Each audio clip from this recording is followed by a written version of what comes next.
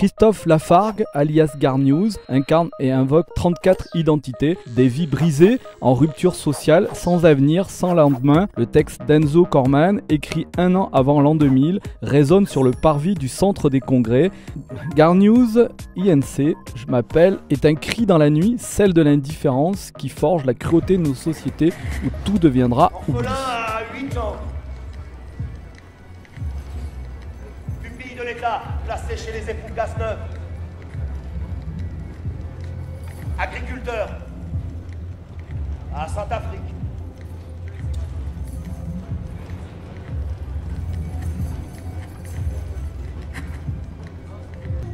Chaque jour, garçon de ferme puis mineur à Decazeville. Gréviste. En 1936.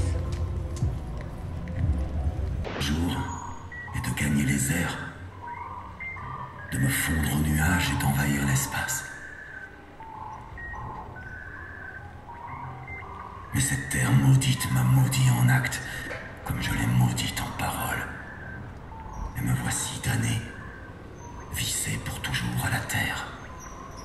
Non, c'est une créa, mais pour autant on l'a sorti euh, au mois de mai, donc euh, on a eu le temps de l'éprouver, on a eu une quinzaine de dates, et puis comme à chaque fois on joue deux fois, donc euh, on a eu l'occasion de jouer une trentaine de fois. Et du coup, euh, bon, c'est une façon de bosser aussi, c'est vraiment du, même si le mot est un peu galvaudé, du work in progress, c'est-à-dire que j'ai une façon vraiment de travailler euh, au fur et à mesure où je joue, quoi. Donc il y a des choses que je trouve en jouant et que je pourrais pas trouver en répétition, parce que l'intensité du jeu, le, ce qui se passe aussi, quoi. Voilà, les accidents aussi, je garde souvent euh, le fruit des, des accidents. Donc euh, voilà, c'est c'est un travail qui est sorti en mai, mais qui est en évolution constante quand même. La brisure de vie, euh, de petites vies euh, qu'on voit pas passer comme ça, mais qui font la, grande histoire, quoi. C'est-à-dire l'histoire qui fait la grande avec un grand H, quoi, et, et qui et sur lequel on peut porter un regard. Aujourd'hui, c'est un, texte qui, qui, parle de la bascule sur l'an 2000, sur le 21e siècle, et aujourd'hui qu'on est en 2017, on peut peut-être le regarder avec un, un meilleur recul, un peu plus de profondeur.